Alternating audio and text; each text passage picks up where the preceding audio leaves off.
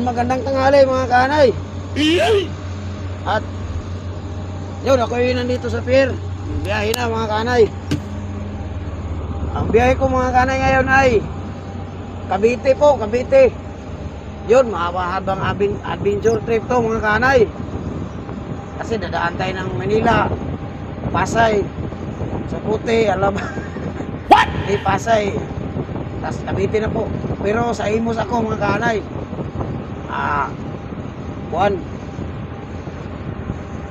Cold store pangalan ng customer namin mga kanay sa May Imus, Cavite.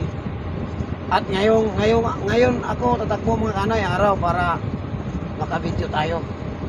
Makikita natin yung, makikita nyo yung daan. Ah, sa mga kapwa ko tracking dyan, mga kabady, mga, mga ka-tracking.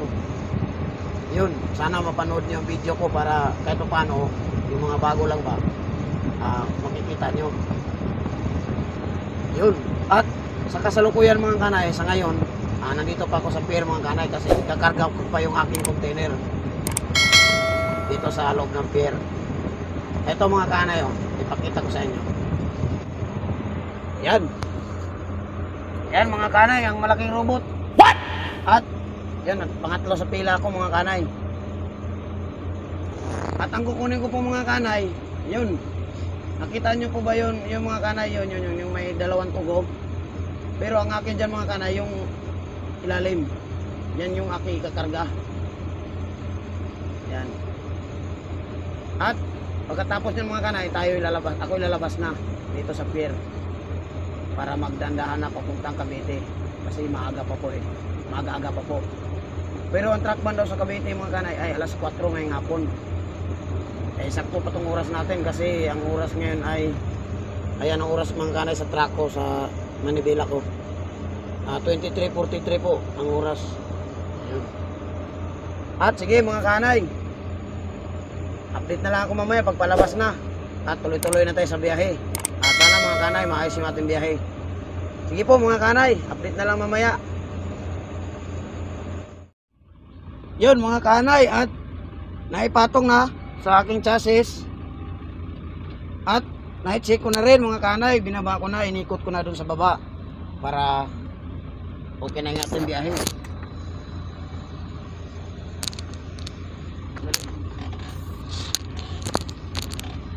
Para diretso na tayong takbo.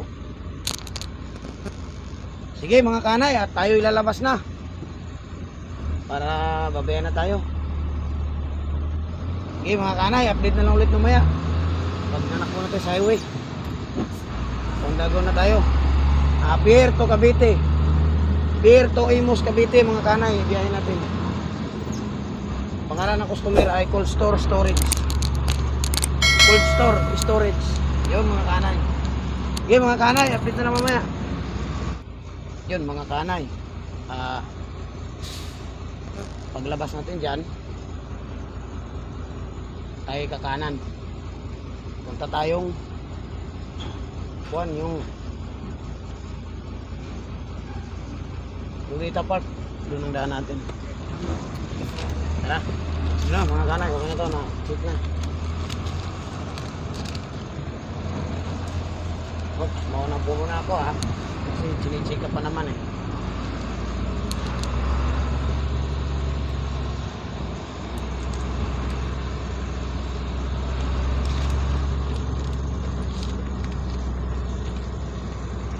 Ito mga kanay, kailangan natin dumaan dito sa exit boat. Si Sir Pap. Sir!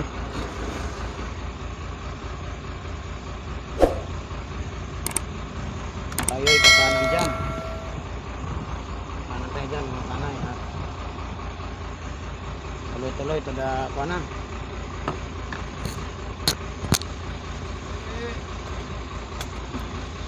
yun tara okay na okay na mga kanay okay na kasi time pier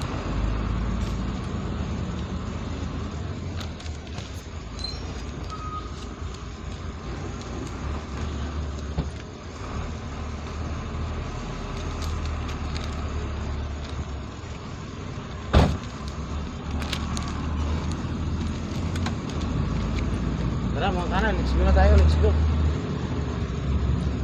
Power Ranger.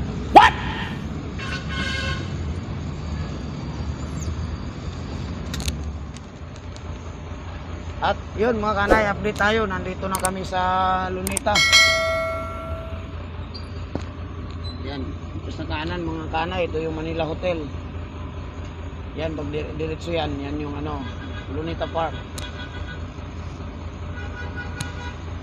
Pasyalan ng mga laagan sa tao sa Manila, mga kanay. Tayo dyan, kakaliwa tayo dyan mga kanay.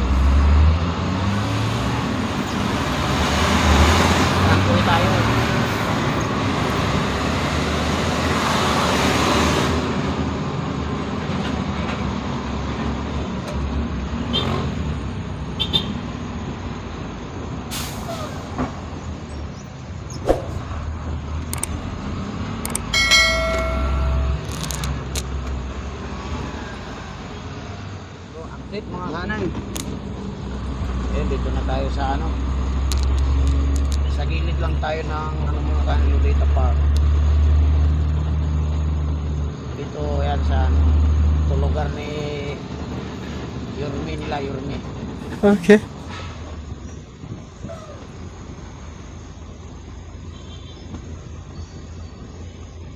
Kikiraan lang tayo dito mga kanay.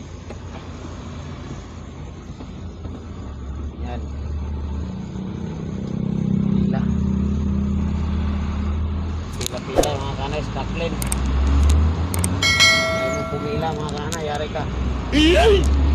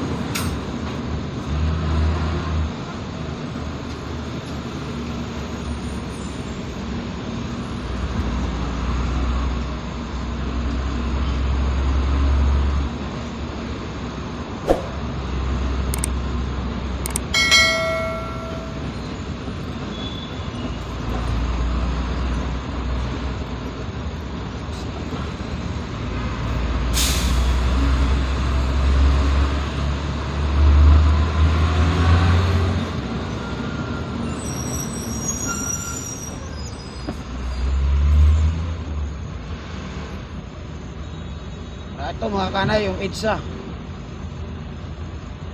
Itsa Pasay. Yan sa kaliwa mga kanan, yan yung ano, papuntang Baclaran Church.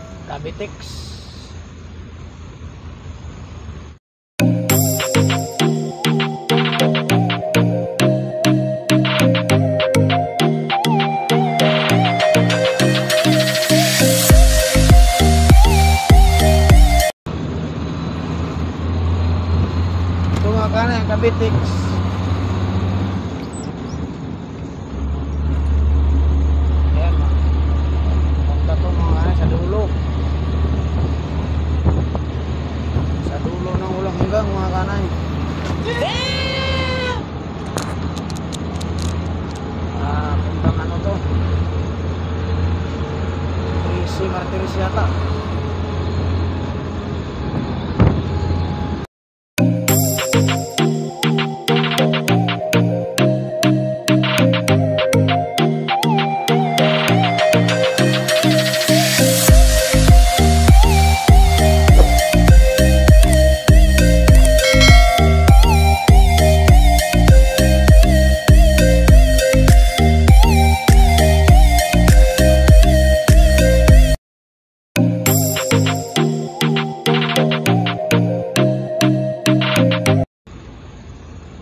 Habak nila mga sa cash.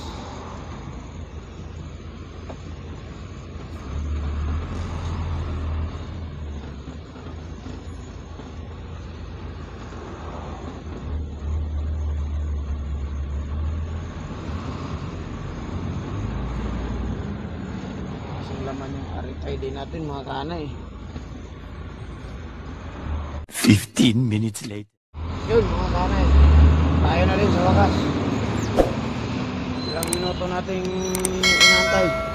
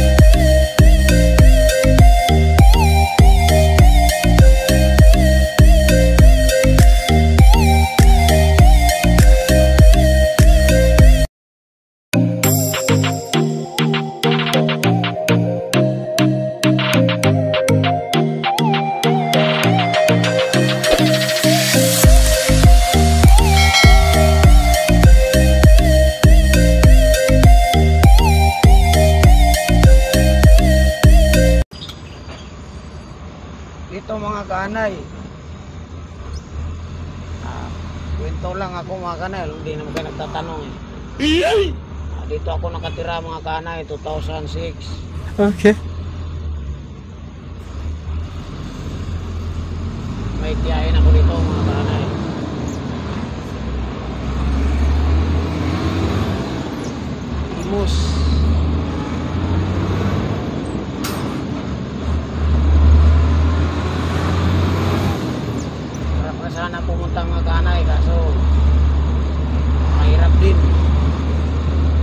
tahimik pa ngayon mga kanay baka hindi tayo makauwi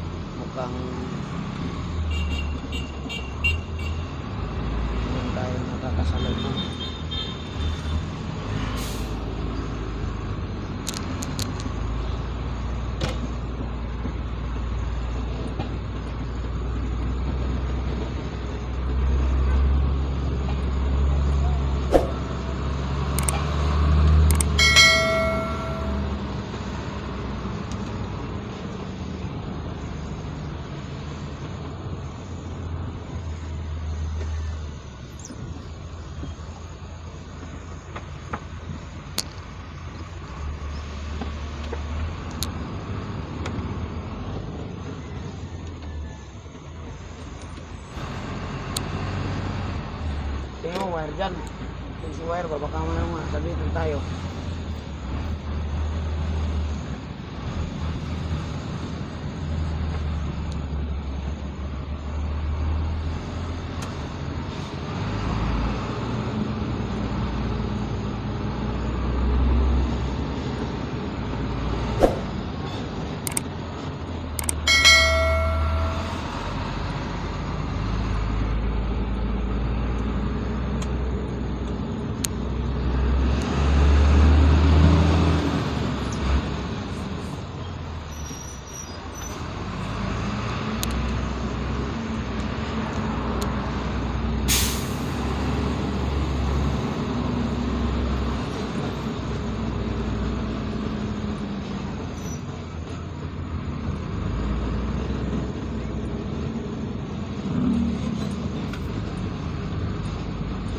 Balay-lay.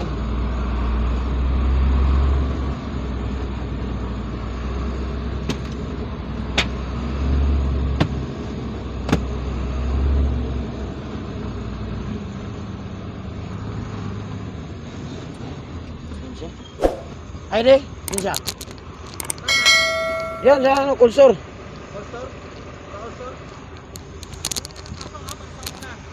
Ah.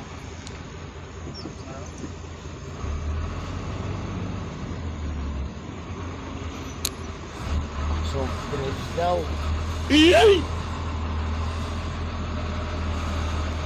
Ah, sir, dakpan na sir. Dakpan pag ano.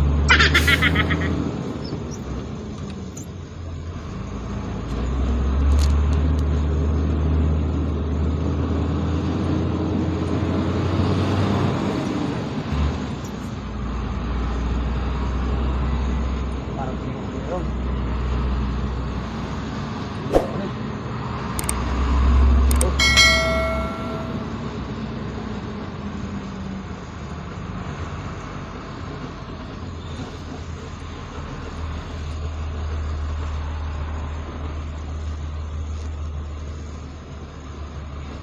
Oh. Nagbaba na sila. Ang ganda, parang nagbaba na tayo agad. Wala na sila sa labas eh.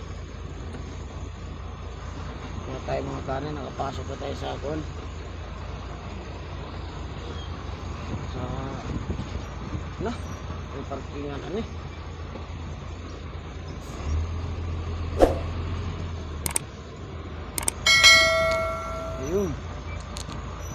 Three hours later. Yun mga kanay at tayo nakarating na dito sa customer. Ah, 241. Umalis tayo kanina mga ano yun, 12. At ngayon mag alas 3 na. O yun lang mga kanay at salamat sa panonood mga kanay. Ingat mga kanay, God bless. Bye bye.